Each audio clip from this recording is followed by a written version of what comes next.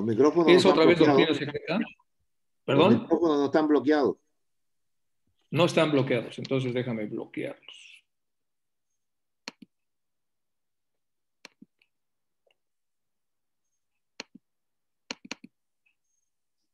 Silenciar a todos, ya están silenciados. Ya, ¿verdad? Bueno. Empezamos, si les parece, entonces. Doctrina secreta cosmogénesis, tomo uno, otra vez, antecedente, segunda parte, que es lo que me pidió Isaac. Entonces vamos a entrar, vamos a hacer la invocación, esta es la que a mí me gusta. Entonces pedimos con humildad que de los corazones de las jerarquías superiores que ayudan a la humanidad fluya un torrente de luz que nos bendiga, purifique y nos ayude a comprender las profundas verdades que vamos a estudiar juntos. Bueno, nos ponemos un poco en manos de las jerarquías que nos ayuden y entramos. El contenido que vamos a ver ahora, reflexiones previas a la lectura de la doctrina secreta, personajes claves que ayudaron a HPV a escribirla, mundo interior y mundo exterior, asociado a, a, los antecedentes de la doctrina secreta, y al final prácticas vivenciales para experimentar algunos de los contenidos de la doctrina secreta, es decir, para poder convertirlos en una guía de vida y de esa manera poder desarrollarlos.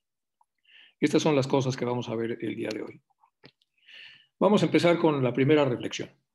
Primera, ¿por qué es tan importante cuidar el legado que nos brinda la doctrina secreta? Bueno, pues hay, un, hay una serie de afirmaciones de Madame Blavatsky, yo seleccioné esta nada más. Dice, el tiempo y la imaginación, o sea, dos cosas, el tiempo, el paso del tiempo y la imaginación humana, disminuyeron la pureza y la filosofía de estas grandes enseñanzas cuando durante el curso de su obra de proselitismo, es decir, de las personas que se dedicaban a las personas que se dedicaban a divulgarlas, fueron trasplantadas del círculo secreto y sagrado de los arats a un suelo menos preparado para las concepciones metafísicas de la India. O sea, cuando fueron llevadas a China, Japón, Siam y Birmania.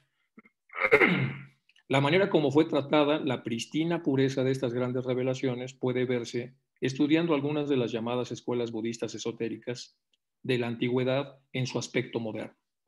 Lo que nos está diciendo aquí Madame Blavatsky es que todo lo que es la sabiduría revelada y que es pasada a la humanidad a través de los arats, conforme va pasando el tiempo y se va aplicando la imaginación humana, sobre todo la imaginación humana que gusta de modificar las obras originales, esto se va perdiendo, se va superficializando y entonces de tanto en tanto tienen que volver a ayudarnos. Por esa razón entonces hay que cuidar a los libros sagrados y debido a que la doctrina secreta es un libro sagrado, pues hay que cuidarla.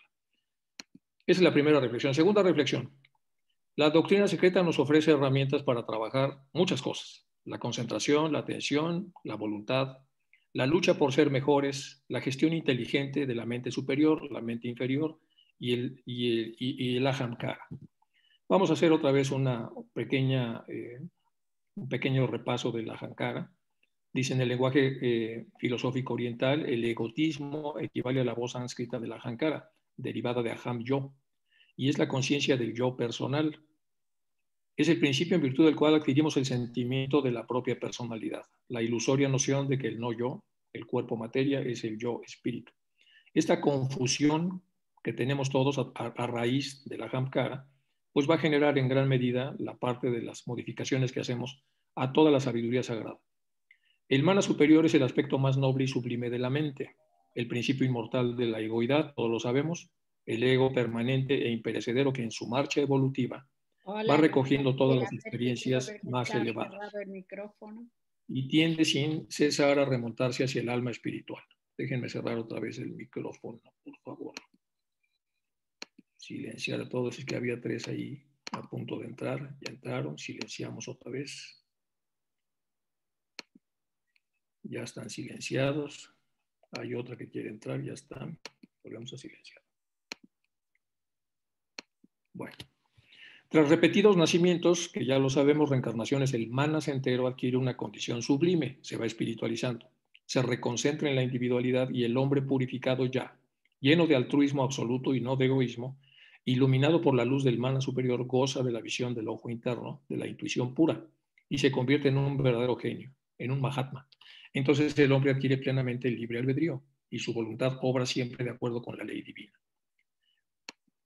¿Cuál es, ¿Qué es lo que nos está diciendo aquí Madame Blavatsky? Cosas que ya sabemos, que a lo largo de las encarnaciones, poco a poco, el mana superior se va purificando hasta que después de muchas y muchas venidas a este plano, despertamos el ojo interno de la intuición, que es el ojo interno de la intuición pura, y poco a poco entonces terminamos la enorme secuencia de encarnaciones que todos tenemos.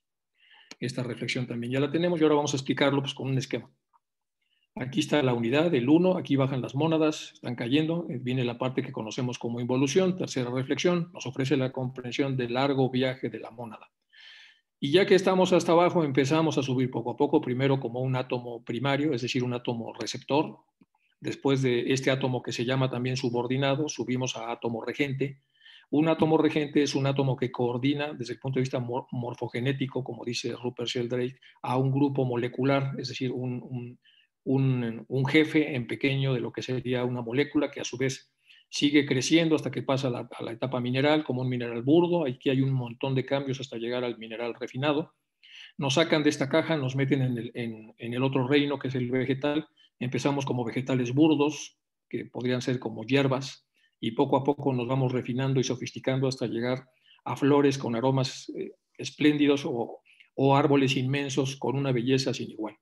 Nos sacan de este reino nos, nos pasan al reino animal. Empezamos como animales muy burdos, los de sangre fría, y poco a poco nos vamos sofisticando y nos vamos convirtiendo en animales, en mamíferos, animales superiores y animales mucho más desarrollados, que son tres en la última escala evolutiva animal.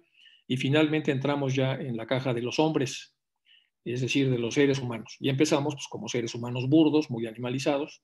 Poco a poco desarrollamos al pensador, y el pensador poco a poco, que es al que le recae la toma de decisiones, se va perfeccionando lentamente hasta poder convertirnos a través de sus propias decisiones en hombres refinados, es decir, en seres humanos refinados.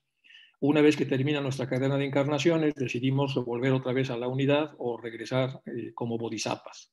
Si ponemos una lupa a esto, aquí lo vemos con más detalle.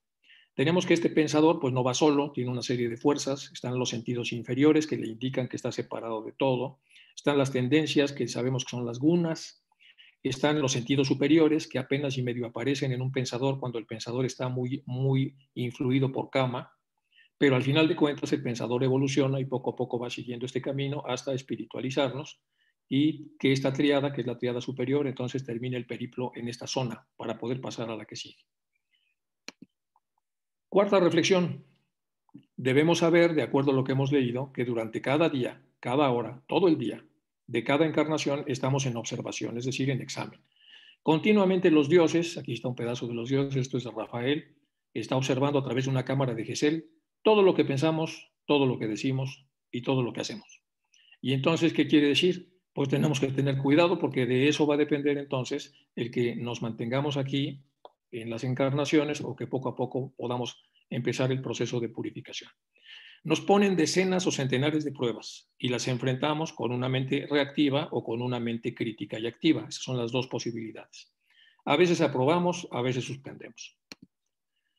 ¿Cómo pasa eso? Este es el pensador reactivo, el que no piensa.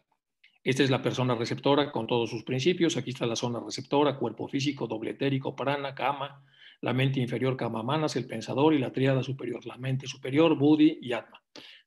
Esto es un ser humano completo, de acuerdo a lo que nos dice la teosofía. Por supuesto, en la zona receptora no vemos que tengamos todo esto, nada más nos vemos a nosotros mismos. estas partes resultan eh, no perceptibles, sobre todo cuando el hombre eh, apenas está empezando en las encarnaciones como humano. De este lado tenemos un hombre muy, muy animalizado, un ser humano animalizado, que se molesta con esta persona y entonces lo agrede, es decir, lo ataca desde ciertas porciones del cuerpo físico, muy influido por cama, y lo lastima, lo agrede, lo ridiculiza, lo vapulea, lo golpea, lo calumnia, lo que fuere. La zona receptora es esta, y si este está distraído, el pensador reactivo responde desde donde recibió el rodillazo, es decir, con otro rodillazo igual, y de esa manera, aunque tenga legítimo derecho o sea legítima defensa, se mancha, es decir, se, se complica suspende, los dioses que lo observan, pues automáticamente le ponen suspendido. Suspendido no porque haya sido provocado, suspendido porque, provocado o no, él ha activado algo para dañar a este ser humano.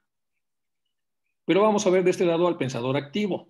El pensador activo entonces es una persona receptora activa, es igual que este, pero este está como más espabilado, está más atento. Y aquí tenemos que tiene todos los principios que ya hemos visto. Entonces, cuando recibe la provocación del hombre animalizado que está de este lado, sube la situación, como dice aquí, sube la provocación al pensador que está acá. El pensador analiza rápidamente las opciones, es decir, devuelve el daño, reclama en paz o dialoga y explora. Son diferentes tonos de azul. Esta es una más superior, esta es una más intermedia y esta es una más inferior, pero al final de cuentas cualquiera de estas es superior a regresar el golpe de este lado. El pensador selecciona la parte más eh, superior y entonces busca al pensador del hombre más animalizado para entablar un diálogo, ya sea para explorar o para reclamar en paz o para devolver el daño de una manera más utilizada. Esto es lo que hace el pensador activo. Al final de su encuentro con este hombre animalizado, entonces ha, aprobado de panzazo, ha aprobado con una nota sobresaliente o ha aprobado totalmente en función de la capacidad que tenga de poder normalizar esta relación. Esto es una versión pues, más moderna prácticamente de lo mismo que nos dice la doctrina secreta. Áreas del cerebro físico. Vamos a analizar esta parte de acá. Dice el astral por medio de kama, el deseo, el astral. Entonces, kama arrastra de continuo a manas a la espera de las pasiones y deseos materiales cuando ha sido indignado o cuando ha sido de alguna manera tentado. Y aquí intervienen todas las, todas las estructuras del propio cuerpo físico. El cuerpo físico entonces se vincula con Kama, Kama con el astral, y entonces pasa lo que nos está diciendo aquí la doctrina secreta en el tomo 1, página 228. Enrique, Enrique más despacito, más despacio, Enrique, por favor. voy, voy más despacio. Vamos a leer esta parte de acá entonces. El astral, por medio de cama, el deseo, arrastran de continuo a manas a la mente, a la esfera de las pasiones y deseos materiales. Esto pasa por la misma provocación que habíamos visto en, la, en el slide anterior. Entonces, ¿qué quiere decir? Cuerpo físico se indigna a través de sus sentidos físicos, se molesta. Esto pasa al cuerpo astral, el cuerpo astral se pega a la parte cámica y entre ellos, como dice aquí la doctrina secreta, jalan a la mente superior hacia abajo. Pero la mente superior, mientras está bajando, tiene dos alternativas. O se animaliza, es decir, o no detiene el jalón que le están dando, o pone una barrera, como dice acá, pero si el hombre mejor, es decir, el mana superior, reacciona siempre, Manas procura escapar de la atracción fatal y dirigirá sus aspiraciones hacia Atma. Entonces Budi vence y se llevará consigo a Manas al reino del eterno espíritu. Y Madame Blavatsky pone a la hora de analizar en la doctrina secreta una parte pneumática cabalística y la parte pneumática teosófica, pero también para explicar un poco lo que está sucediendo acá. Y este es un esquema que pone Madame Blavatsky para explicar cómo las cosas de menor densidad o más espiritualizadas tienen siempre su asiento en los upadis, los UPADI son los portadores, la definición de UPADI es el vehículo portador de alguna cosa menos material que el mismo. Por lo tanto, del espíritu, el UPADI es eh, Budi, el, alma, el vehículo del espíritu. De la mente, el UPADI es el alma animal, que es el UPADI de la mente superior. El UPADI de la vida es el cuerpo astral y el UPADI de todos es el cuerpo físico. Así nos lo, nos lo explica Madame Blavatsky.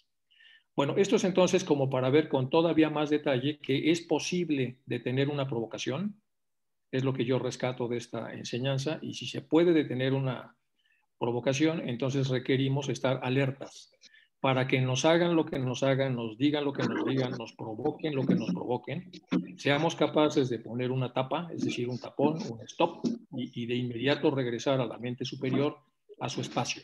Eso nos lo dice entonces esta parte de la doctrina secreta. Vamos a entrar ahora, eh, una vez hechos esos, eh, esas consideraciones, a la segunda parte.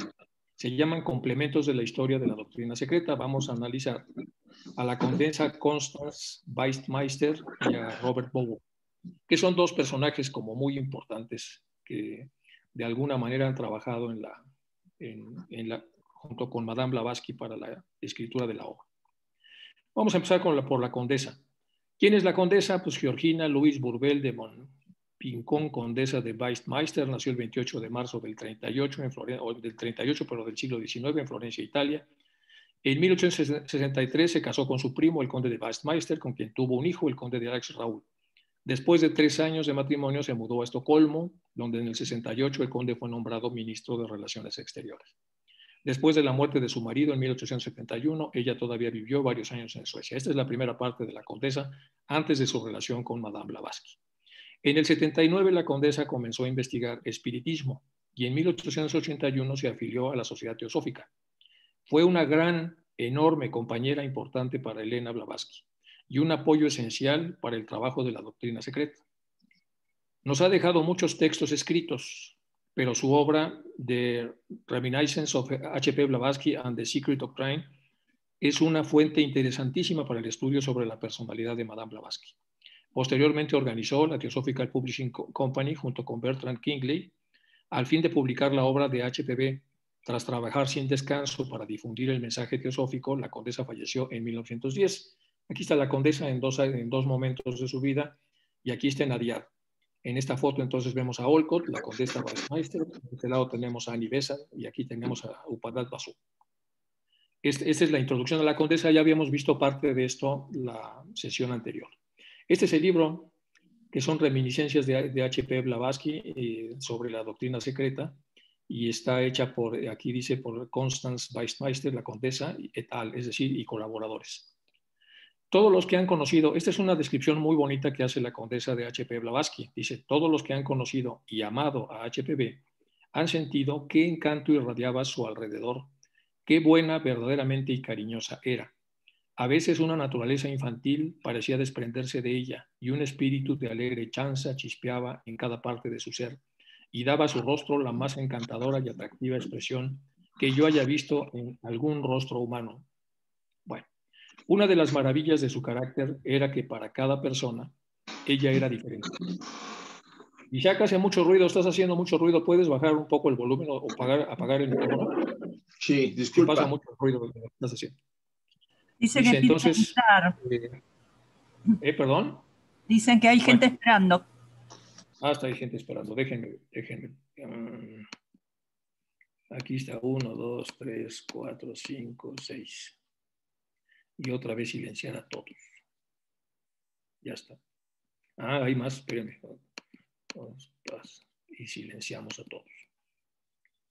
Bueno, ven ustedes qué bonita Qué bonito retrato hace la condesa de Madame Blavatsky.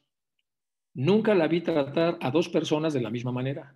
Se daba cuenta de inmediato de las debilidades de carácter de cada quien y era sorprendentemente extraordinaria la manera como ella lo registraba, con una intuición sobrenatural. El conocimiento de sí mismo era gradualmente adquirido por quienes vivían en su diario contacto y aquellos que decidían beneficiarse con su manera práctica de enseñar. Podían progresar si lo deseaban. Pero para muchos de sus alumnos el proceso era enfadoso, pues no es nunca agradable ser enfrentado a las propias debilidades, y así es como muchos le volvieron la espalda. Pero aquellos que pudieron soportar las pruebas y permanecieron fieles pudieron reconocer en sí mismos ese íntimo desarrollo que es el único que conduce al ocultismo. Uno no podría tener un amigo más verdadero y fiel que H.P. Blavatsky. Y hoy pienso que la mayor gracia que se me ha concedido en la vida ha sido la de vivir en tan estrecha intimidad y hasta el día de mi muerte he de buscar por todos los medios posibles la forma de llevar adelante la noble causa por la cual tanto ella sufrió y se esclavizó. Esta este es una cosa muy hermosa, es una declaración que hace la condesa y nos retrata un poco la imagen de Blavatsky. Y nos dice que de alguna manera inspiraba solamente por estar en contacto con ella a las gentes que allí estaban para poder desarrollarse. Y nos dice muchas cosas más que ya cuando tengan ustedes el vídeo podrán analizar en las diferentes ramas, pero esto es un regalo encantador acerca de lo que es la descripción de Madame Blavatsky. Vamos con más de la condesa. Escribiendo desde Bulburgo, el 12 de marzo, Mr. Sinet, la condesa Bastmeister, le decía que ella había llegado a encontrarse tan confundida en las estancias y comentarios que no podía hacer nada al respecto.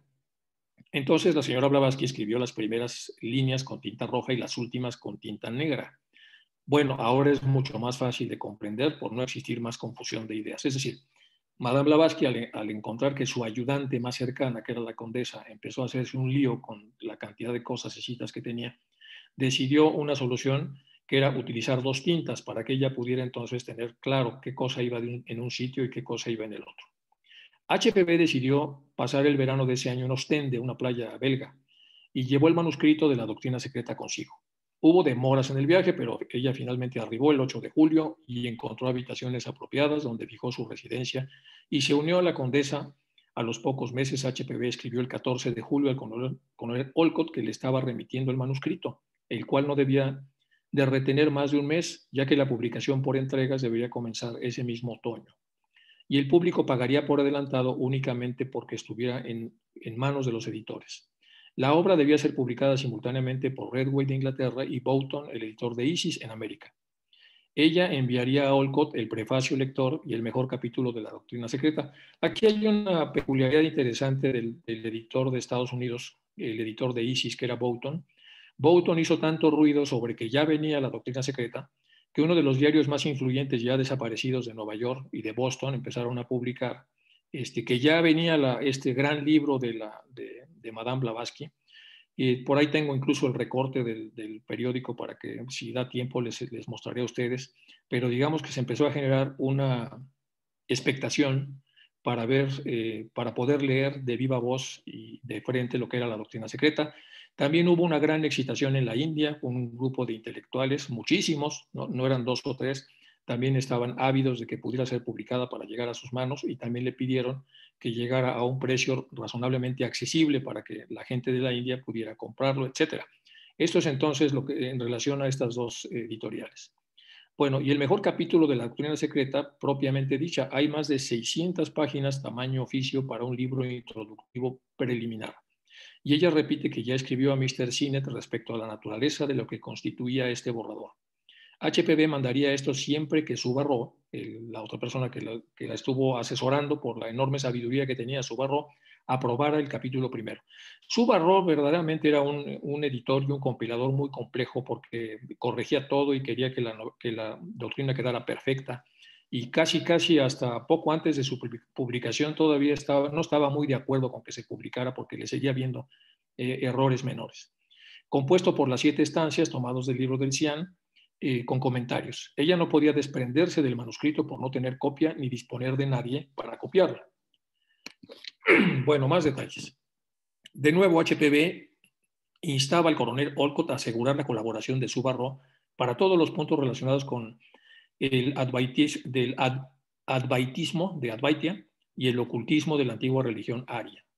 Ella requería su ayuda en lo referente a las citas antiguas y el significado oculto agregadas a su propio texto. Al final Subarro lo hizo y ayudó muchísimo para la edición de la obra. La doctrina secreta debía ser 20 veces más erudita y oculta y explicativa. Perdón, Enrique, Emil se quiere entrar. la otra Emil se quiere entrar, perdón. No, no, no, ya ya entré. bueno, perdón, perdón. A ver, Emil ya está. ya estamos, Enrique. Muy bien, ya está. Bueno, aquí vean ustedes lo que comenta HPV. Eh, He finalizado un enorme capítulo preliminar, preámbulo, prólogo o llámelo usted como quiera, dice HPV, justamente para mostrar al lector, justamente para mostrar al lector que el texto tal como se desarrolla con cada sección, empezando con una página traducida del libro del Siam y del libro secreto de Maitreya Buda, entonces lo que dice aquí Madame Blavatsky dice, es que todo lo que me están enseñando, todo lo que me están mostrando no es ficción, es de, veras.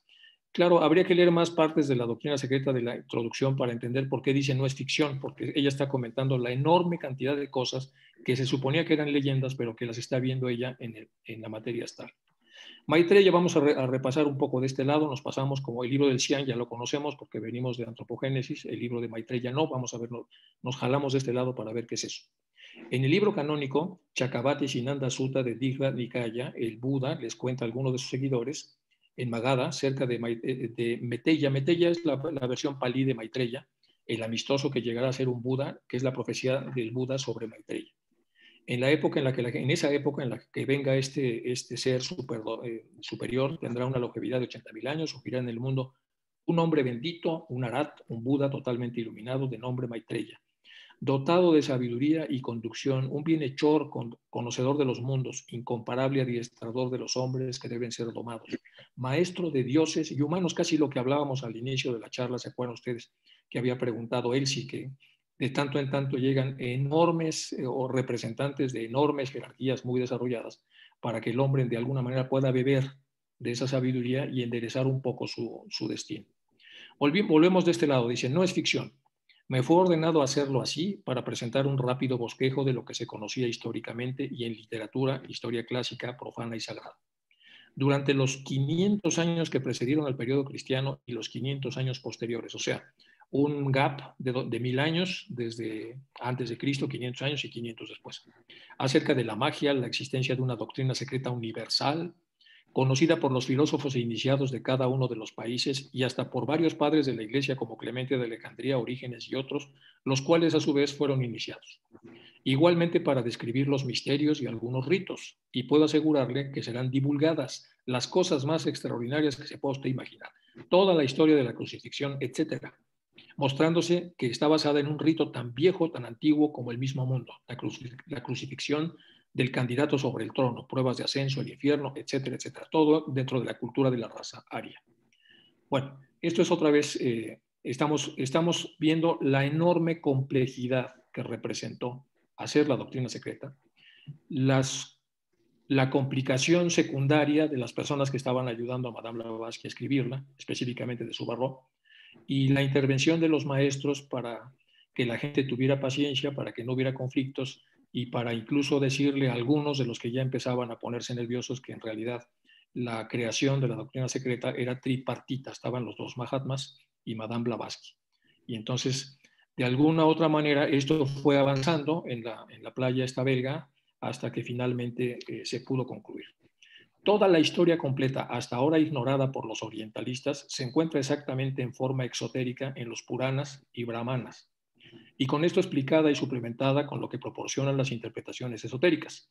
Esas obras están en estas famosas tablas que ya habíamos visto la vez pasada, ¿se acuerdan? Aquí están, las, vienen en tablillas y están en los monasterios, en muchos monasterios este, budistas, tibetanos, pues aparece mucha de la sabiduría en estas tablas que eran las que se, las que se utilizaban para poder guardar la información que era transmitida por las personas con más desarrollo.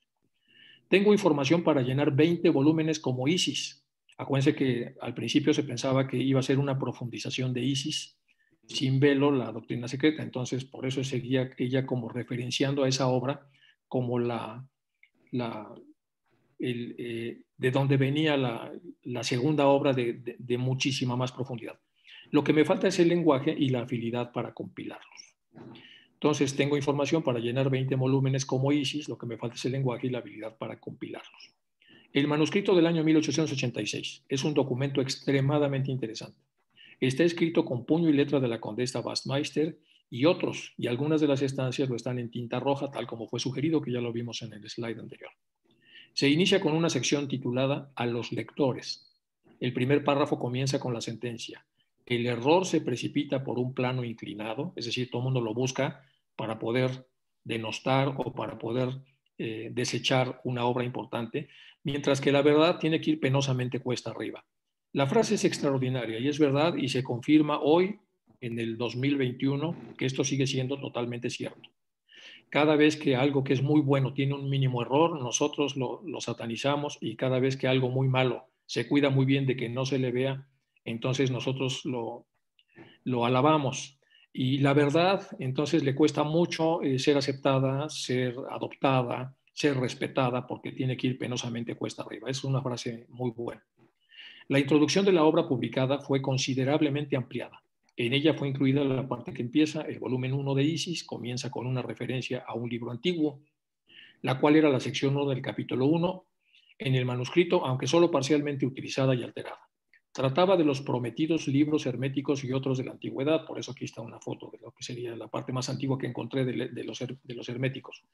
La sección 2, que se refería a la magia blanca y negra, teórica y práctica, fue publicada con suplementos y cambios en el tercer volumen y quedó esencialmente casi literalmente sin cambios. La sección 3, relativa al álgebra trascendental y las revelaciones de Dios sobre la representación de los nombres místicos es la sección 10 del volumen 3 con la, con la subsección 1. matemáticas y geometría, las claves de los problemas universales, mientras que la subsección 2 en el manuscrito se transformó en la sección 11 del volumen 3. El hexágono con el punto central, todo lo que es la filosofía pitagórica. El manuscrito, eh, este manuscrito empieza con discutiendo sobre la virtud de los nombres, las opiniones de Molitor.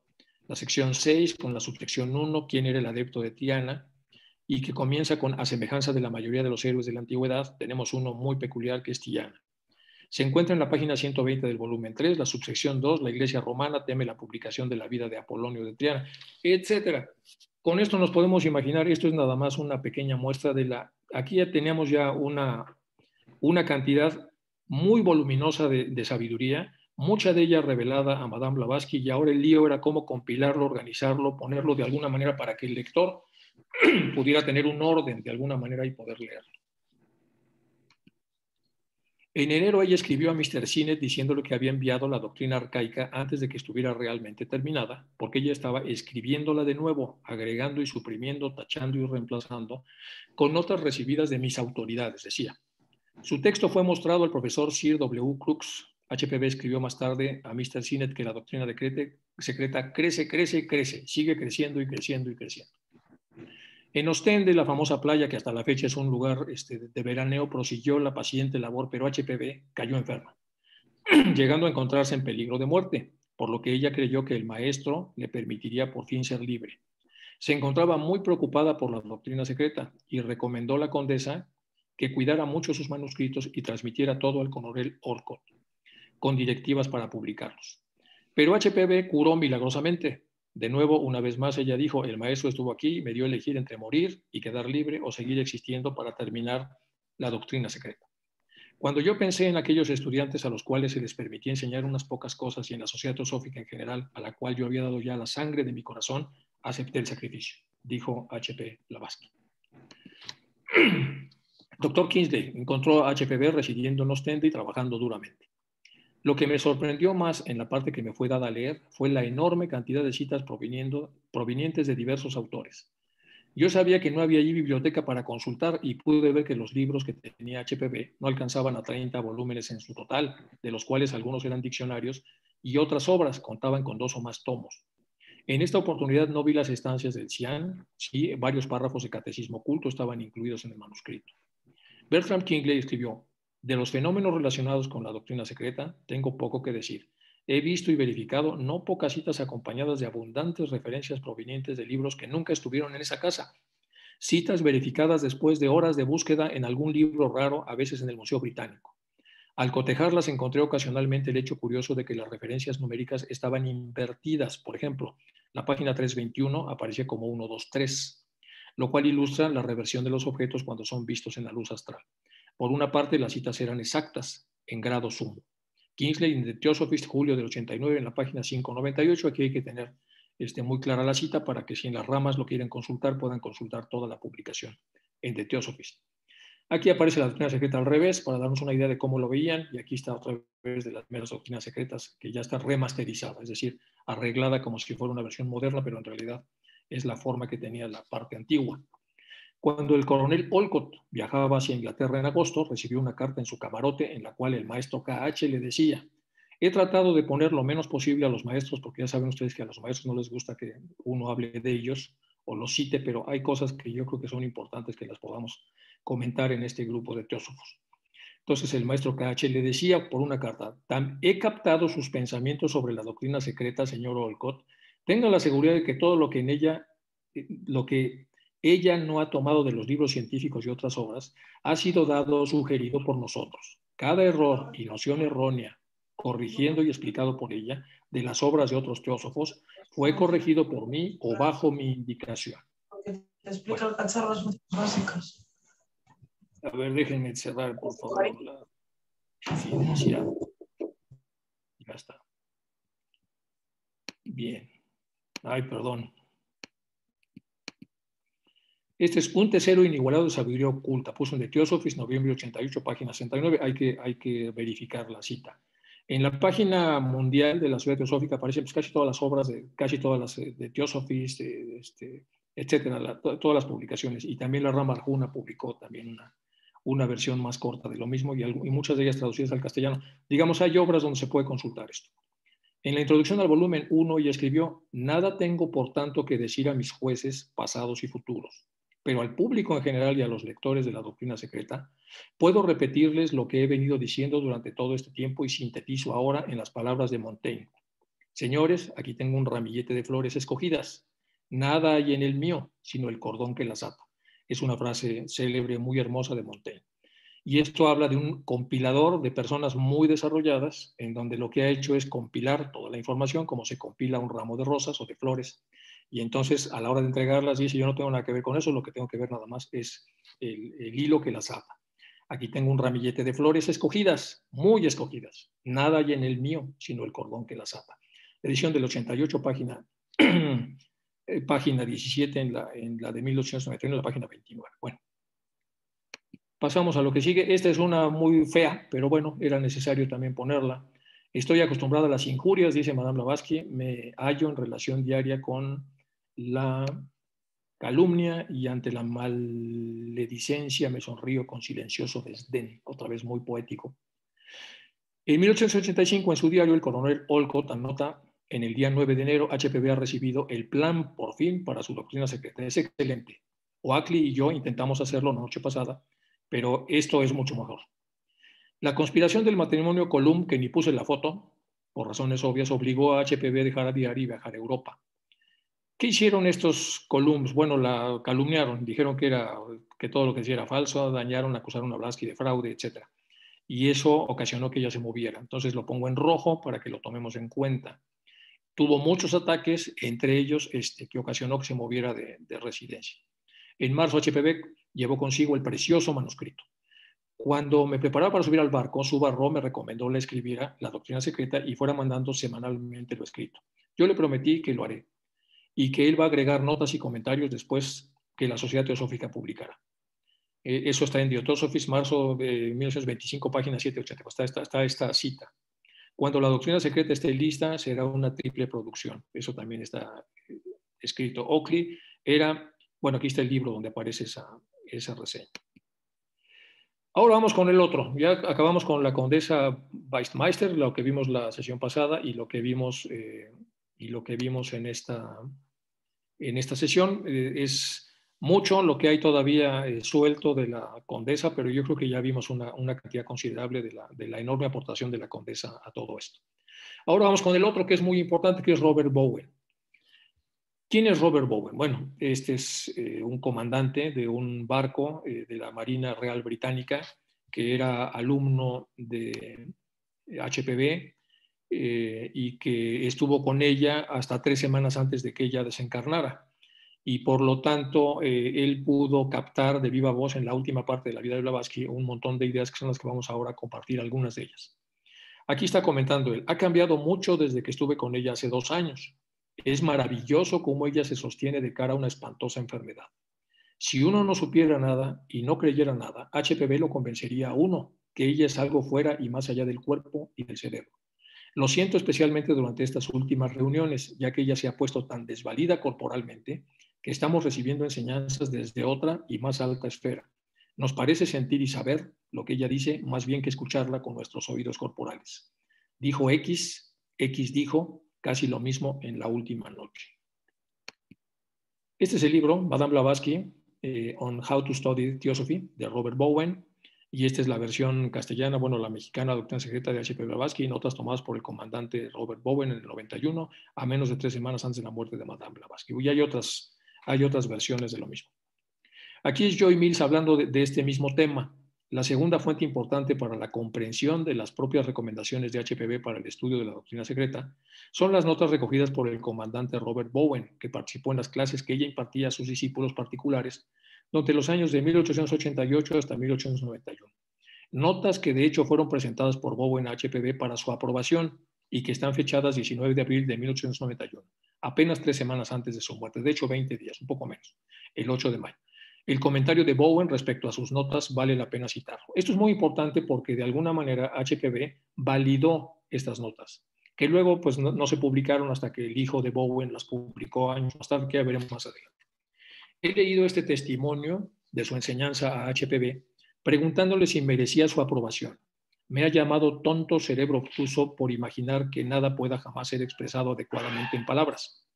Pero sonreía y movía la cabeza al mismo tiempo, y dijo que en realidad yo lo había conseguido mejor de lo que otro cualquiera lo hubiera conseguido jamás, y mejor de lo que ella misma pudiera conseguir. Esta es la aprobación que hace HPV de los comentarios de Bowen.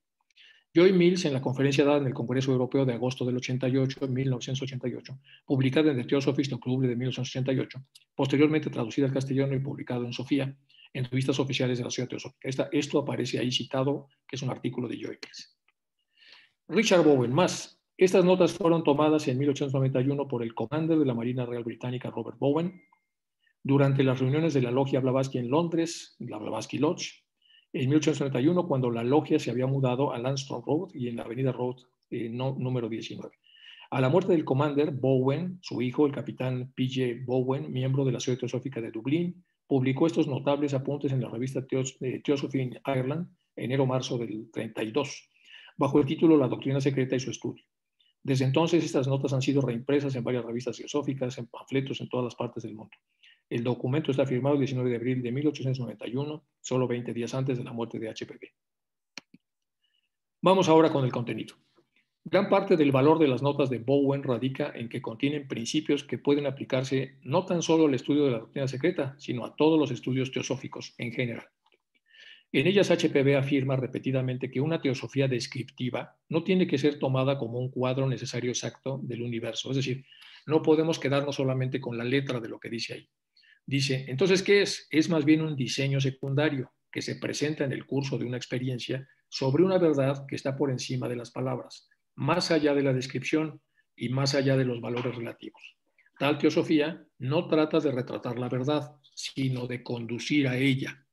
En este momento, entonces, HPV está diciendo que la teosofía es un conducto, es un canal, es una serie de enseñanzas que tiene la finalidad de que uno cuando se pueda sustraer en ellas y de alguna manera seguirlas, es un canal que nos lleva al desarrollo. Más o menos así es como yo lo tomo con las limitaciones que puedo yo tener a la hora de, entender lo que está diciendo.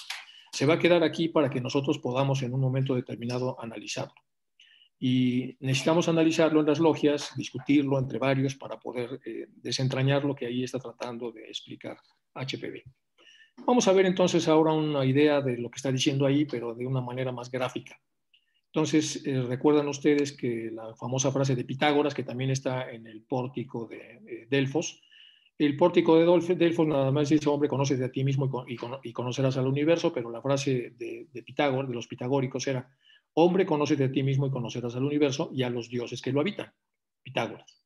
Hombre, conoce al universo y te conocerás a ti mismo y a los hombres que te habitan, haciendo un retruécano un poco para entender cómo en los dos sentidos vamos a encontrar las cosas que buscamos. Esta es la alegoría del desarrollo, como subir una montaña, tenemos una montaña X, y entonces cuando estamos más abajo, pues el desarrollo interior es más bajo, pero esto va subiendo y subiendo y subiendo, hasta que al llegar a la punta ya tenemos un desarrollo pleno. Y este es un esquema pues, para entenderlo. En el 20% de la montaña, cuando falta mucho por subir, nuestra visibilidad es muy baja porque estamos todavía a una altura bastante baja. Y dice 20% de conocimiento muy bajo basado en el plano físico, es decir, estamos en la parte cámica muy alta. Seguimos subiendo penosamente 30% conocimiento bajo basado en el plano físico, cama medio. Seguimos subiendo 40% conocimiento medio bajo basado en el plano físico, cama bajo. Llegamos aquí al 50% conocimiento medio basado en el plano físico, astral mental bajo con raciocinio bajo. Aquí ya estamos a la mitad. 60% conocimiento medio alto, aquí empieza ya el raciocinio medio, arriba el, discernimiento bajo, al 70%. Aquí tenemos discernimiento medio con intuición baja, pues ya vamos cerca de la punta. 90% conocimiento muy alto, discernimiento medio, intuición media. Y cuando estamos hasta arriba, por lo menos del periplo humano, estamos en 100% del conocimiento de lo que nos está permitido conocer, altísimo. Discernimiento alto, hasta donde nos da el seso, intuición alta también. Entonces, este es más o menos el camino que todos llevamos a lo largo de muchas encarnaciones para tratar de entender lo que HPV nos está comentando.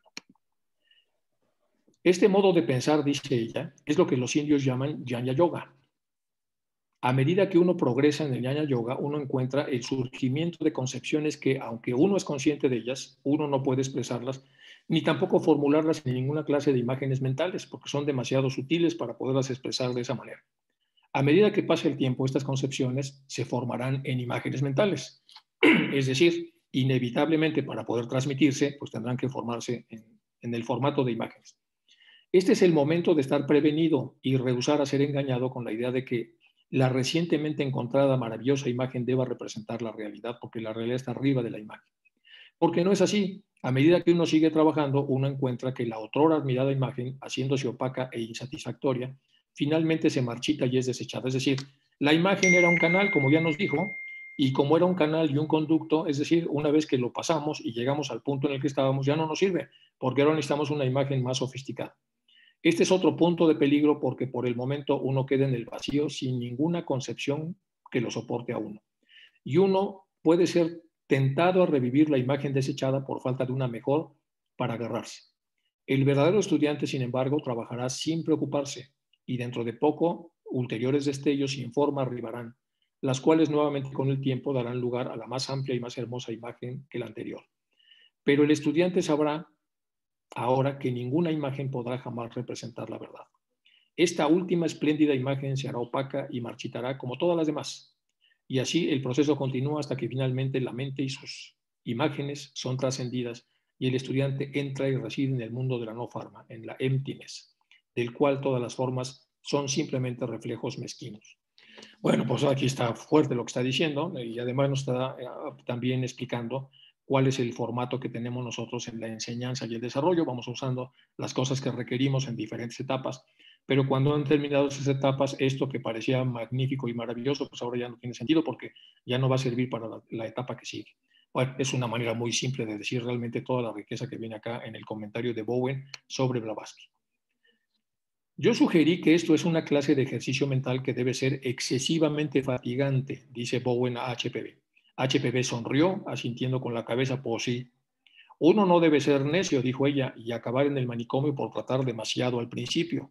El cerebro es el instrumento de la conciencia despierta y cada imagen mental conscientemente formada significa cambio y destrucción de los átomos del cerebro, sobre todo de los átomos en donde estaban los canales previos. La actividad intelectual se mueve sobre caminos muy trillados del cerebro, como las cookies de las computadoras y no compele ajustes repentinos. Déjenme apagar esto, esto me está distrayendo.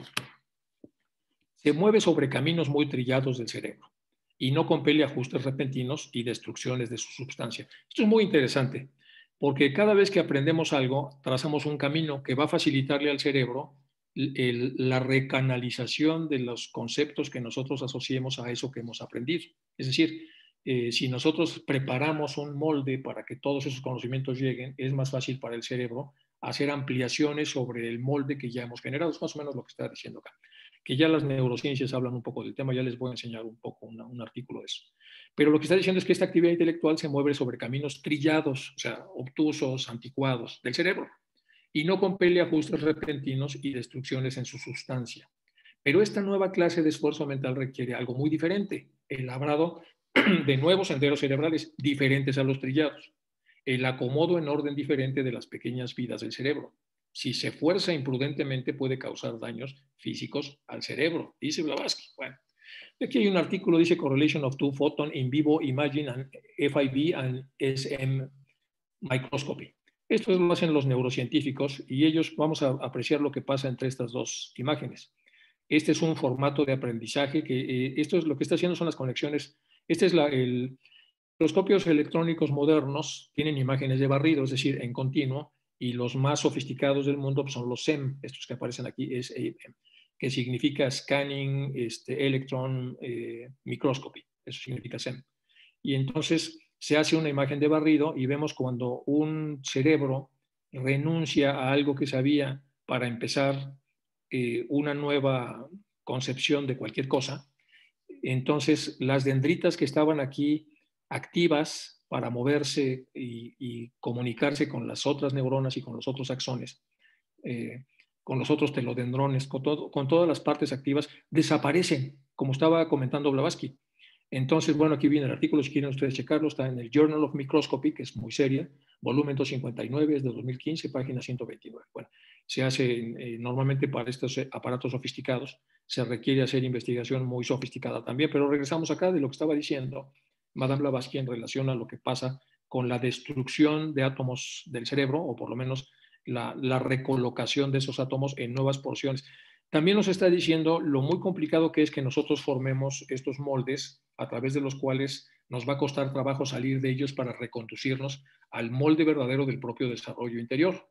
Porque si en estos moldes ya está, eh, hemos invertido mucho y resulta pues, que los moldes ya se caducos, entonces o vivimos de ellos para siempre hasta terminar la, la encarnación o los desechamos para encontrar los moldes apropiados que nos llevan al desarrollo.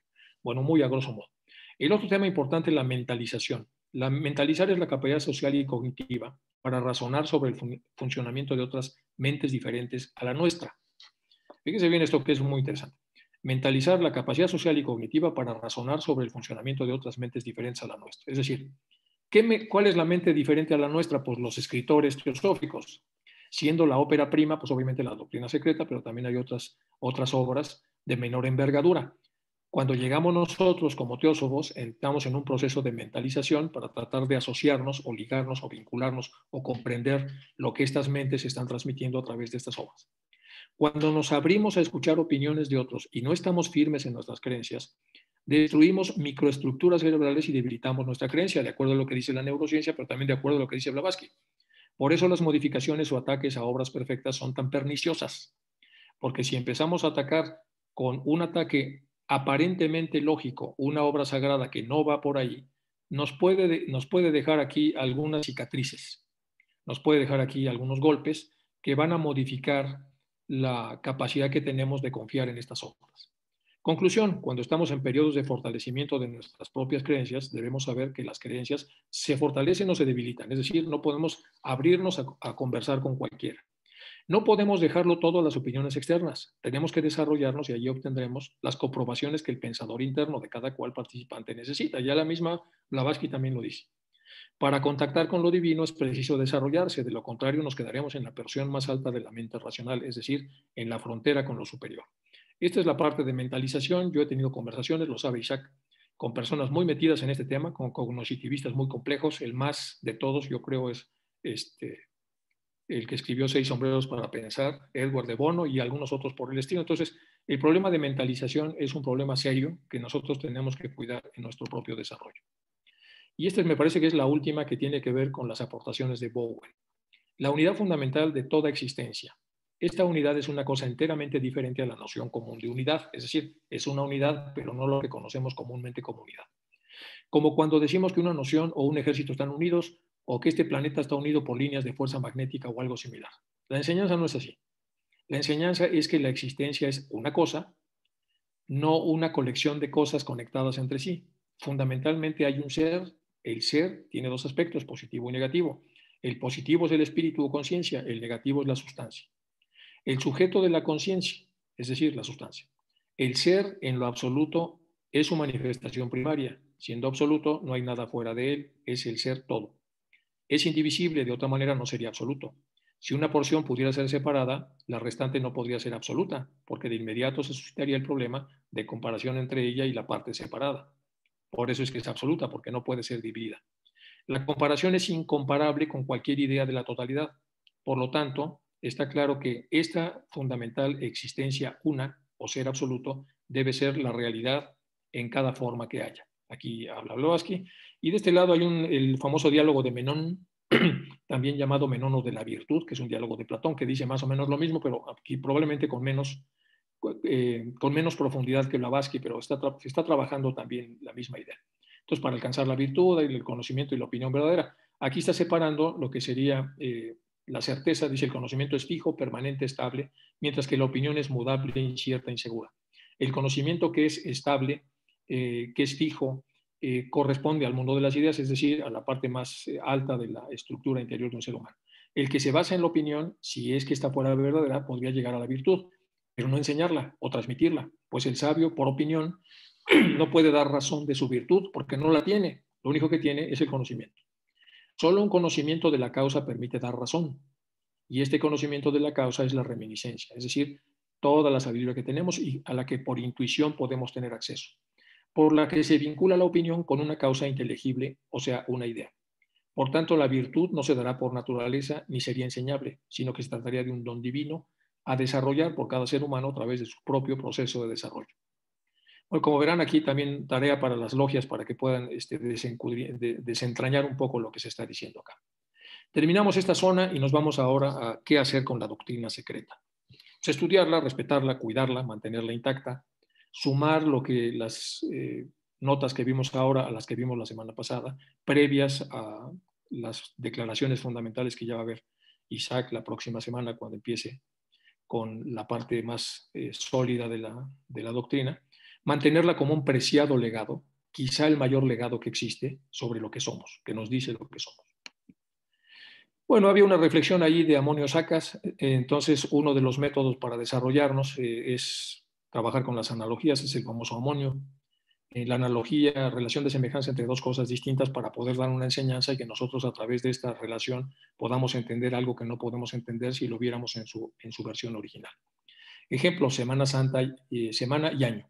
Los dos tienen un inicio, entonces, para los que no conocen un año, pero sí conocen una semana, y quieren saber cómo es un año, entonces se les dice que eh, el año vendría siendo como el lunes de una semana. Ah, entonces es el inicio de eso que no sabemos qué es, qué es el año.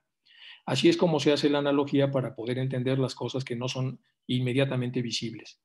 Se llaman analogistas a los discípulos de Amonio Sacas, dado que él enseñaba así, y así llamados acaso a su práctica de interpretar todas las leyendas, mitos, misterios sagrados por un principio de analogía y correspondencia cuya regla se encuentra ahora en el sistema cabalístico y de las escuelas de filosofía esotérica de Oriente. Bueno, aquí está Mono Sacas, filósofo de Alejandría del siglo III, considerado con frecuencia el fundador del neoplatonismo. Hay, eh, hay, que, analizarlo en las logias. Sexta reflexión, control y dirección de uno mismo. Si nos está diciendo Blavatsky que todo el contenido esto es no para adornar nuestro, nuestra psique o para tener eh, discusiones donde podamos eh, convencer o discutir o debatir o lo que fuera. Son canales, canales que nos dicen lo que somos, de dónde venimos, a dónde vamos, y son canales que una vez que los transitamos, aunque sea la misma, aunque sea la misma redacción, nos ayudan a llegar a un siguiente sitio y una vuelta o una, una segunda lectura que hacemos a esto que habíamos leído, encontramos que hay un canal todavía más rico en esa misma lectura para seguir ascendiendo. Es decir, es, es una vía para llegar al desarrollo. El buscador debe saber que puede reconocer y gobernar dos grandes fuerzas, la de aproximación y repulsión. Esto es de Vagabandas, que ya hemos hablado de este eh, increíble teoso. La repulsión producirá división en el instante. Si nosotros estamos vibrando acá, pues vamos a dividirlo todo. La aproximación, unión amistosa. Si nosotros estamos vibrando acá, podremos entonces colegiar todas las cosas.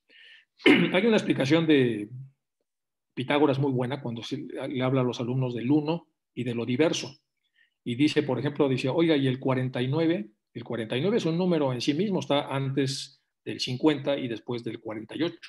Por lo tanto, tiene una identidad que parte de la diversidad. Y dice Pitágoras, sí, pero al finalmente el 49 es 49 veces 1 y el 80 es 80 veces 1 y el 5 es 5 veces 1. Y todos los números que ustedes pueden ver en la diversidad tienen como, como principio colector el 1. O sea, han salido del 1 y se han multiplicado a sí mismos. Y entonces eh, hay otra vez una especie de analogía para poder entender lo que es el uno y, lo diverso. Bueno, esto aquí hay, es un tema, aquí hay un ser humano, esto es el Atma, Buddhi, mente superior, el pensador, la mente inferior, prana, lo que habíamos visto, doble técnico. Este es un ser humano bien integrado. Tiene sus principios, los conoce, los reconoce, sabe que existen, a pesar de que solo a través de sus sentidos animales puede verse a sí mismo y no ver esto, pero sí ve los efectos de esto en su cuerpo. Y entonces un ser humano bien integrado por lo general eh, suele integrar al resto de los seres humanos. Es, un buen recurso para integrar. Y este es un ser humano disperso. Está, están todos aquí muy agrupaditos, el kama, la mente inferior y el pensador, de alguna manera coludido con esta parte. El doble etérico, con una porción que se aleja y se, y se acerca a prana, eh, propenso a enfermedades, propenso a complicaciones y muy alejado de la mente superior y bueno, cuando este gobierna un grupo, el que sea, pues va a generar obviamente división en el instante. Entonces, más repulsión, menos aproximación, porque el ser humano de por sí ya viene mal y esto es mayor aproximación, menos repulsión, porque el ser humano está bien integrado. La doctrina secreta, la lectura cuidadosa de las obras de Blavatsky nos ayudan, si nos concentramos en estos canales, a integrarnos, a reconocer lo que realmente somos, en lo profundo. ¿Cómo atraer a los principios superiores si estamos dispersos? Primero aceptando que están allí. Segundo, orientarse al desarrollo interior para que se abran los canales que permitan una percepción más sutil, porque si no los abro, pues nunca, nunca voy a percibirlos. Tercero, llevando una, una vida limpia y útil a la unidad de vida. Y bueno, aquí tenemos, por ejemplo, este es el mirar incompleto que se hace desde y hacia el cuerpo físico. En el plano físico este es un señor, y entonces el cuerpo físico es como una mochila. En su interior lleva importantes cosas, ni más ni menos que al cerebro físico y los órganos de los sentidos. Todos esos van en la mochila. La mochila es el ejemplo, la alegoría para tratar de representar lo que es el cuerpo físico. Con esto llevaríamos una vida orientada al ego personal, hacia la separatividad, conflicto, desprecio de las condiciones creadas en la encarnación para poder desarrollarlos. Y sí, podemos vivir una vida con esto, sí, podemos vivir una vida con esto, pero estamos incompletos. ¿Cómo creer en esos principios que no soy capaz de ver cuando estoy apenas entrando en teosofía?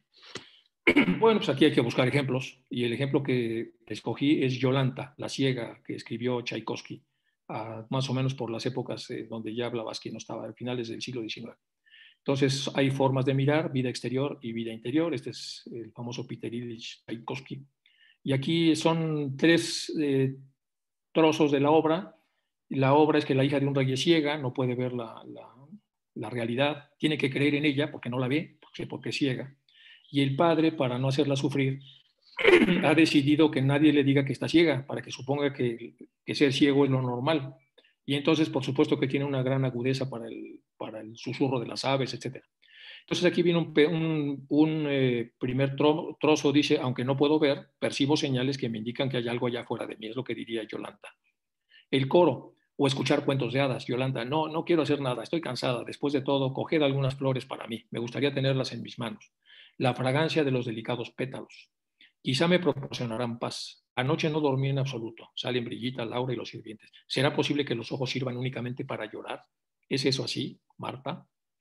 Y luego viene el área con gran sentimiento. ¿Por qué hasta ahora no he derramado lágrimas ni conocido la nostalgia ni el dolor? ¿Por qué mis días han transcurrido entre rosas y sonidos celestiales? ¿Por qué no puedo ver?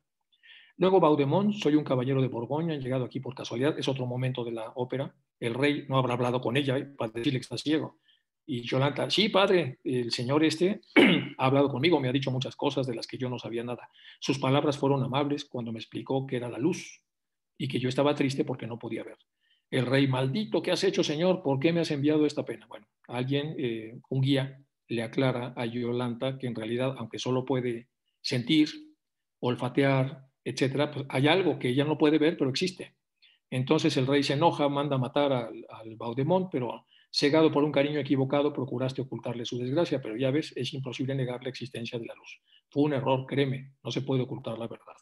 Llega un doctor y al final cura a Yolanta, y Yolanta, bueno, aquí ya está hablando de lo que le había dicho Baudemont acerca de la, de la posibilidad de percibir la realidad. Me habló del brillo de un día soleado, es tan amable, me reveló la verdad.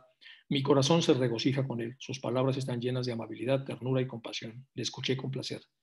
Quiere traer a mí la luz a mi oscuridad. Bueno, pues esta es la vida interior. Hay una enorme luz, solo que no tenemos acceso a ella. Somos ciegos a esa vida interior hasta que empecemos el sendero que nos el sendero que, nos, que nos proporciona eh, las, escrituras de Blavatsky. Y la vida externa, que tiene ceguera, la vida interior, pues tiene de alguna manera una visión perfecta de todo que es la, unidad de vida, que no existe, que para rematar es mayárica. Aquí hay el guía, el que nos puede llevar de aquí para acá, y aquí en el YouTube, si les llegan a ustedes, hay un detalle de cómo pueden ver esta ópera, eh, porque alguna vez se presentó en Madrid y vienen ahí los títulos para poder entender cómo, se desarrolla de muchas formas, es una ópera muy bonita, aparte musicalmente muy bonita. Bueno, la idea es que esta es la analogía a través de la cual vamos a ver qué pasa con un ser humano que no ve lo espiritual. Pues está ciego, está ciego eso. Y está ciego porque tenemos una serie de prejuicios representados por el rey que no quieren que sepamos de eso. Pero también hay otro como Baudemont, que es el que llega y nos despierta en un momento determinado el interés de que sí hay algo ahí y es posible además tener acceso. Bueno, aquí se nos complica un poco el esquema. Tenemos un mirar completo, habíamos visto que ese es el de la mochila, pero el de la mochila pues también tiene su doble etérico, su prana, su pensador, su mente inferior, su kama, su mente superior, su buddhi y su, espíritu individualizado. Este no lo sabía, lo vimos hace un momento en, las, en el slide dos anteriores, que este nada más veía la pura mochila y el cerebro físico. Pero este, si logra abrir los ojos y observar hacia el interior, pues ya se ve completo. Y este es el ser humano completo, con su alma, sus principios interiores, el cuerpo físico, etcétera, etcétera. Es el mundo interior y es el mundo externo. Antes de que el alma, dice Madame Blavatsky, pueda ver, debe haberse alcanzado la armonía interior y los ojos carnales han de estar cegados a toda ilusión, es decir, a esto. H.P. Blavatsky, la voz del silencio. Analogía, el cargar los principios superiores a una mochila, cuerpo físico. Algo que nuestro pensador orientado al cuerpo físico cree que es temporalmente nuestro, pero en el interior profundo sabemos que no somos eso. No somos mochila, no somos cuerpo. Allí en la mochila viaja el cerebro físico y este se confunde al pensar que su identidad está en donde está su ubicación física, es decir, en la mochila. Es decir, que él es mochila, cuerpo físico. Y teme y niega la existencia del ser que carga la mochila porque es invisible a sus sentidos físicos y la nada aterra al ego inferior. Séptima reflexión, la capacidad transformadora de una vivencia. Y aquí nos vamos a apoyar un poco en esto. ¿Cómo construir los canales de los que nos habla Blavatsky para poder desarrollarnos? ¿Cómo hacer que tanto la lectura como las experiencias que podamos provocar a lo largo de nuestra vida se conviertan en vivencias transformadoras? Bueno, vamos a ver aquí la vivencia. Una vivencia es aquella experiencia que una persona vive en su vida y que lo marca, le deja ahí una huella. Es decir, de alguna manera entra a formar parte ya de su carácter. Porque después de esta vivencia pues, se transformó, ya que lo que sienta y aprenda de la misma le aportará sabiduría. Y aquí viene uno para que lo lean las logias de Kierkegaard y Nietzsche. Aquí Nietzsche y Kierkegaard sentaron las bases para la filosofía existencialista, hablan un poco de lo que es la vivencia. Cómo ser y estar en el mundo teosóficamente, cómo producir vivencias transformadoras y facilitarlas en otros. Bueno, vamos a ver un poco para eso necesitamos una guía y aquí nos vamos a meter con Krishnamurti. Krishnamurti nos dice, bueno, ¿y cómo le hago para construir estos canales? Bueno, sé generoso. Escucha. Sal de la sociedad y observa. Mata tus expectativas. Cuídate de la soberbia del que cree que sabe todo. Silencia tu mente. Frases entre dos soluciones, opta siempre por la más generosa, eso dice Krishnamurti. Solo si escuchamos podremos aprender y escuchar es un acto de silencio. Solo una mente serena, pero extraordinariamente activa, por eso habíamos hablado de lo que es el razonamiento activo, puede aprender.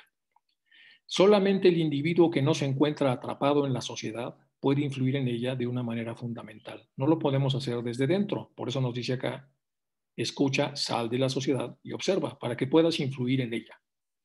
¿Qué significa salir de la sociedad? Salir de los prejuicios condicionamientos de las formas tradicionales de vida que la propia sociedad nos ha eh, metido. ¿Ha notado usted que la inspiración llega cuando no la está buscando?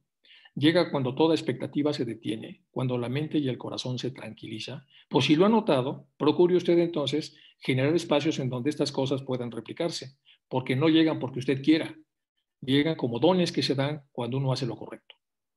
Y aquí viene pues, eh, este, Powell, es uno de los grandes poetas contemporáneos norteamericanos, cuando hablaba de que la felicidad es como una mariposa, dice, mientras más tratas de agarrarla, pues no llega, pero si haces lo correcto, como está diciendo aquí Krishnamurti, y te sientas en un risco donde quieras, la mariposa llega y se posa lentamente sobre tu hombro. Está diciendo entonces básicamente eso. Ten cuidado con el hombre que dice que sabe.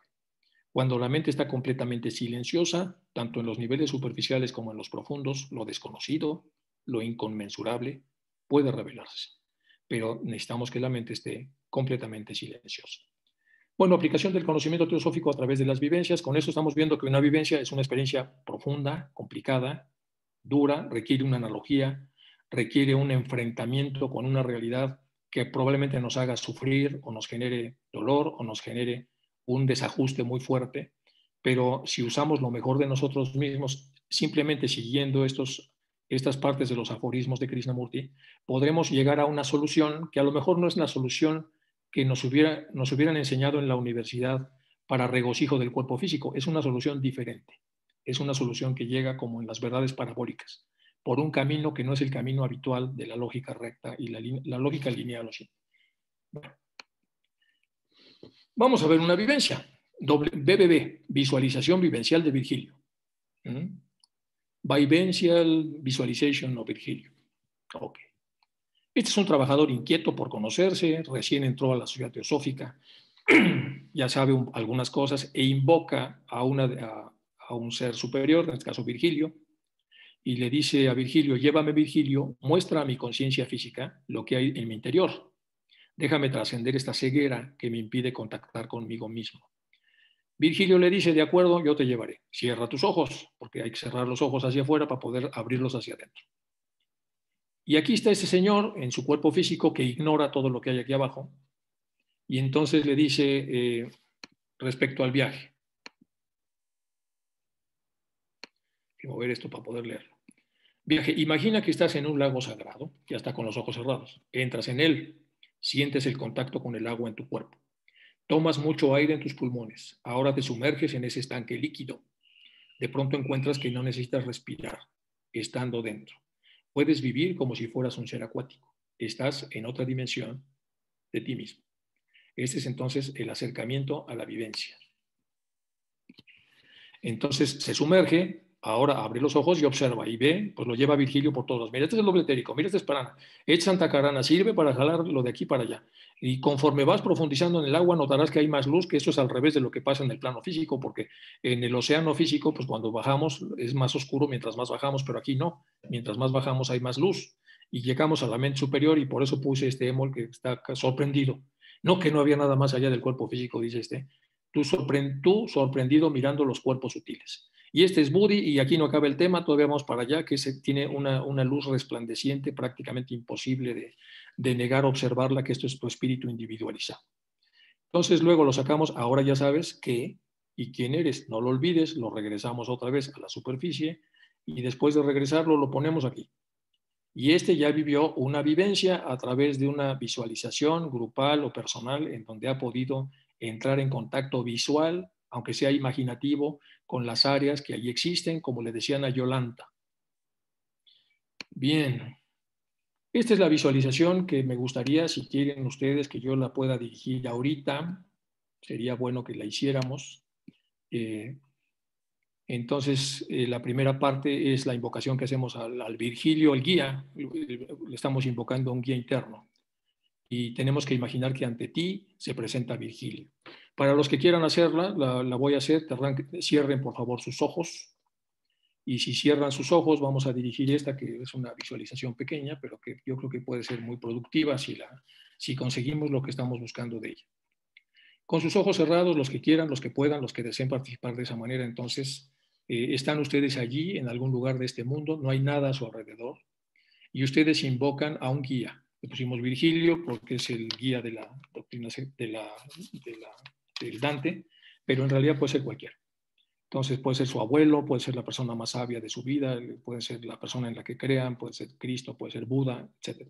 Entonces, imagina que ante ti se presenta tu guía y le dicen ustedes, muestra por favor a mi conciencia física lo que hay en mi interior. Déjame trascender esta ceguera que me impide contactar conmigo mismo. Quiero observar los mundos sutiles que me compenetran Quiero navegar por el interior de mí mismo. Quiero conocer a mi ser superior. Quiero verme y sentirme al completo. Una voz, la de nuestro guía, el personaje, susurra. Así sea. Te llevaré, dado que lo solicitas, al interior de ti mismo. Seguimos con los ojos cerrados. Viaje. Imagina que estás en un lago sagrado, el que quieras. Aguas tibias, cálidas. Entras en él. Sientes el contacto del agua con tu cuerpo. Trata de sentirlo. Tomas mucho aire en tus pulmones, ahora te sumerges poco a poco en este estanque líquido. De pronto encuentras que no necesitas respirar estando dentro. Puedes vivir como si fueras un ser acuático. Estás en otra dimensión de ti mismo. Y empieza la vivencia. Ahora escuchas una voz que te dice, te mostraré, porque así lo has solicitado, tus principios superiores. Abre los ojos. Entonces ahora surgen estructuras antes invisibles, Observas que en ese líquido amniótico están tus estructuras dispuestas de las más cercanas a la superficie a más profundas. En las más cercanas a la superficie, que es donde normalmente vives, está la fuente de los deseos y pasiones que se llama cama. Es un círculo rojo intenso con un contorno pegajoso y mal definido, muy activo. Este se comunica con otra esfera, tu mente inferior. Este es de color gris, oscuro, bordes irregulares, en su interior hay una especie de pantalla donde aparecen los pensamientos provocados por Kama. Son muchos y de diferentes tonos de gris oscuro. De esta última esfera sale algo hacia arriba, es un puente. Tiene un cartel que dice Antakarana, así se llama el puente. En su parte de abajo es gris como mi mente inferior, como tu mente inferior, y en la de arriba es azul, Este puente llega a una esfera de color azul muy claro, con el contorno perfectamente definido, a diferencia de la mente inferior. Es muy brillante. Es una luz que solo admite en su seno, más luz solo si es similar a la suya. Es tu mente superior. Ahora haces una pausa para contemplar lo que hasta ahora has visto. Algo con un contorno bien definido y azul, que es tu mente superior. Un puente que es más ancho en la parte de abajo, más delgado en la parte de arriba, gris en la parte de abajo, azul en la parte de arriba, que se llama antacarana, abajo una mente, que es la mente inferior, que es gris y con el contorno poco definido, y abajo de esta mente una cosa roja, vibrante y brillante con el contorno muy poco definido que llaman cama, como centro de pasiones. Curiosamente, mientras más profundo vas y más eh, hay más luz, a la inversa de lo que pasa en cualquier otro lado. Más hacia el fondo de este círculo esta otra luz, todavía más intensa, se llama Budi. El azulado color de tu mente superior observa en mayor profundidad a Budi. Budi muestra un puente que va todavía más adentro, un puente parecido a un cristal con un brillo intenso. Pero ahí no termina todo. En la mayor profundidad visible está una fuente inimaginable de luz. Su nombre es Atma, es tu espíritu individualizado. Contémplalo por un momento después de contemplar todo lo que tienes en tu interior, con estas luces y colores, ahora volvemos al inicio del recorrido, volviendo a la zona donde está tu mente, la superior y la inferior, la inferior gris y la superior azul, unidas por este puente bicolor, hay allí una estructura pensante. Es quien decide lo que se puede pensar. Recibe influjos de abajo y de arriba y al final decide. Y de lo que decida dependerá tu destino, no es cualquier cosa. Obsérvalo. Se llama Ahamkara. Hacia la superficie y en menor profundidad, a un lado de Kama, está Prana. La energía que tenemos para vivir es de color amarillo intenso. Está conectado al sol de nuestro sistema. Y casi a nivel de la superficie está la fábrica de lo que somos. Se llama Linga Sarira, tu doble etérico. Es de color morado. Es como una fábrica en donde se hace permanentemente la copia, es decir, tú, tu cuerpo recibe instrucciones que provienen, del, que, provienen, que provienen del fondo de este lago para hacer la copia que eres tú en el plano físico. Esta copia que él fabrica sale de estos mundos sutiles y va hacia la superficie por encima del agua reproduciendo este cuerpo que es lo que crees que eres tú. Pero te equivocas, no eres tú, es solamente una parte. Tú eres lo que está debajo del agua.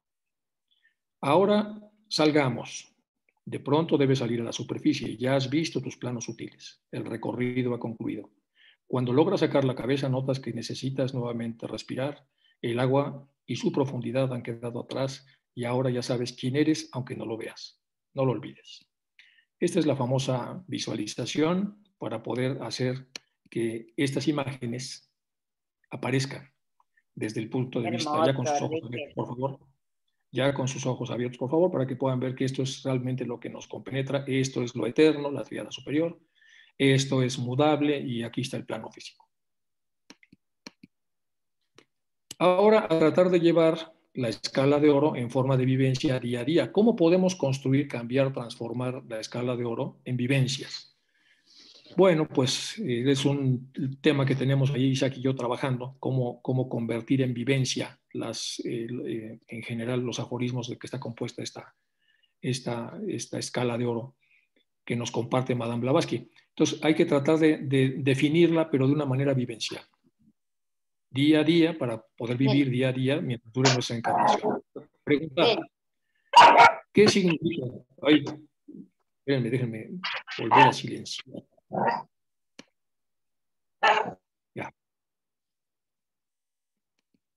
Preguntar, ¿qué significa? Y de inmediato, ¿cómo se hace? ¿Cómo se vive eso?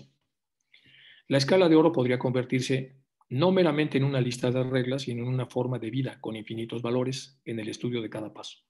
Entonces, si somos capaces de convertir vida limpia en una serie de vivencias que vayan en ese sentido, analizando el profundo significado que tiene mente abierta, corazón puro. ¿Se acuerdan que Madame Blavatsky dice que esto va de menor a mayor hasta llegar a la mirada siempre fija en el ideal de progreso y la perfección humanos? Antes de eso, valiente defensa de los que son injustamente atacados. Antes, enérgica declaración de principios. En el 10, valor para soportar las injusticias personales. En el 9, obediencia a los mandatos de la verdad. En el 8, leal sentido del deber hacia el maestro. En el 7, presteza para dar y recibir consejo e instrucción. 6, afecto fraternal para todos. Percepción espiritual sin velos. Intelecto despierto, corazón puro, mente abierta y vida limpia. Cuando ya hicimos una visualización como la que vimos hace un momento o cualquier otra de ese tipo, para reconciliarnos con nuestro interior, y cuando entramos en este canal eh, vivencial de la escala de oro y construimos los puentes para desarrollarnos, podemos decir que hemos acertado. Aquí la, aquí la palabra es acertar, al todo lo que esta obra increíblemente profunda nos dice. Y como creo que esta es la última, vamos a ver algunos detalles. Bueno, para cerrar esta parte, con gratitud infinita a nuestros queridos Mahatmas y a H.P. Blavatsky por el tesoro heredado a todos nosotros, la doctrina secreta, que ya se encargará Isaac entonces de empezar a trabajar la próxima sesión. Y aquí les voy, por ejemplo, es el Evening Telegraph, dice, The Evening Telegraph de América, referido, eh, eh, es una, dice, lo que están haciendo en 1886, 88, es que dice, uno, dice en alguna parte del, diario que les ha llegado a la redacción un texto todavía no publicado, que se va a publicar en junio 30, dice, con, es uno de los libros más fascinantes que uno puede imaginar que se han publicado, desde de Madame Blavatsky, el nuevo, el nuevo libro que se llama La Doctrina Secreta. Bueno, eso también para que podamos observarlo. Y esto es después de haber trabajado HPV sobre, bueno, etcétera. Yo creo que con esto es suficiente y podemos pasar, si les parece, a la parte de preguntas una vez que deje de filmar este, la, este, Nuria, por favor. Ya me avisas, Nuria, cuando vale, dejo, dejo, dejo de...